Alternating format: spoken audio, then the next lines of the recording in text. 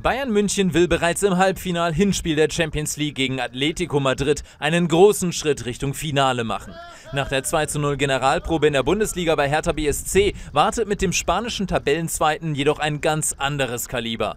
Wer im Halbfinale steht, wer Barcelona im Viertelfinale ausgeschaltet hat, der hat Qualität und äh, der verdient größten Respekt von Bayern München. Den haben wir, aber trotzdem äh, glaube ich, ist es so eine Partie, die würde ich als 50-50 äh, Shows bezeichnen. Und es gibt jetzt zwei Spiele, die wir mal da abwarten sollen. Wir werden alles versuchen, wie gesagt, dass wir eben dann hoffentlich nach Mailand dürfen.